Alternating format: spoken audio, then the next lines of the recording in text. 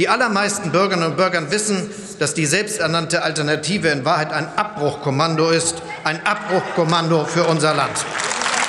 Wenn Sie sich hier hinstellen, und wir sind ein Verfassungsorgan, und sagen, der menschengemachte Klimawandel ist nicht bestätigt, und Sie stellen sich mit Ihren Ausführungen gegen das Pariser Klimaschutzabkommen, das 195 Staaten dieser Welt unterschrieben haben. Dann handeln Sie gegen das deutsche Grundgesetz, dann handeln Sie gegen die deutsche Verfassung. Und außerdem habe ich noch was im Angebot für die Wählerinnen und Wähler in meinem Wahlkreis und darüber hinaus auch die, die mich nicht gewählt haben.